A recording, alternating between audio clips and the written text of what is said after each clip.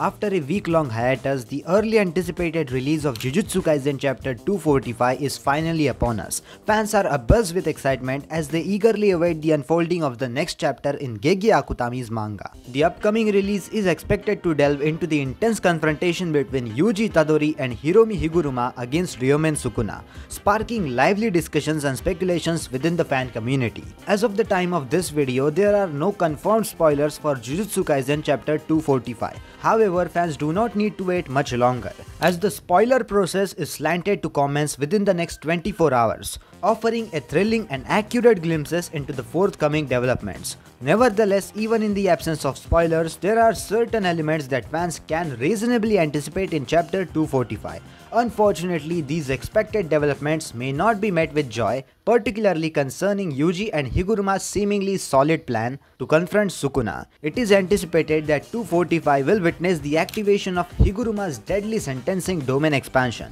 with the trial commencing. Higuruma is likely to present evidence implicating Sukuna as one in the control of Yuji's body during the Shibuya massacre, holding him responsible for the crimes committed. This sets the stage for a brief deliberation between Higuruma and Judgeman, exploring the technicalities of crime and their consequences.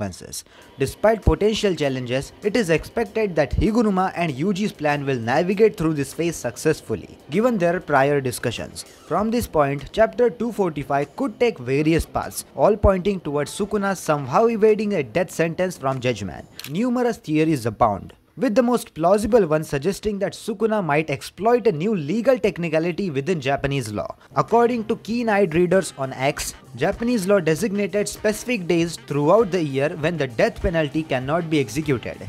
Notably, December 24, 2018, the day of their confrontation, is considered a holiday in lieu of the Emperor's birthday, as shared by the fans on Twitter. Fans speculate that while Judgeman may issue a death penalty, executing it might be impossible due to this legal loophole. This turn of event is expected to conclude the deadly sentencing, compelling Yuji and Higuruma to face Sukuna in a more conventional manner.